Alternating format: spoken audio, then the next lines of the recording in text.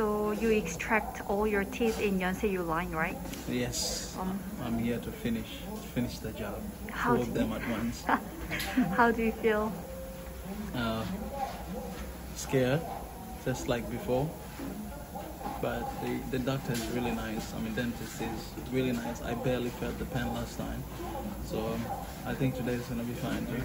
Okay, I wish you good luck. Thank you, thank you. Bye.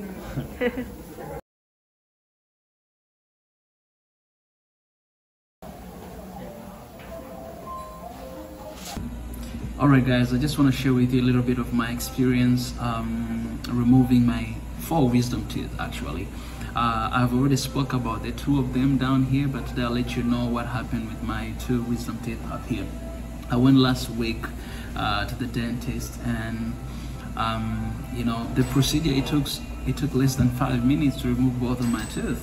I didn't even know that you know it was already done. I was surprised that dentist she just told me that hey Mika I'm done already. And I was like what? I didn't feel anything. That means because the dentist it was really cool. He was really good. He was very careful. And honestly I like I barely felt the pain during the procedure. It went really good. I only felt pain after the procedure like two hours later. I felt you know a little bit of pain uh, but everything it went amazing. My, my my mouth it was not swollen and I was able to eat you know the next day. Like I took my tooth like right now and the next day I started to eat just like a normal person. And until right now guys see it's less than a week but everything is fine and I'm feeling great.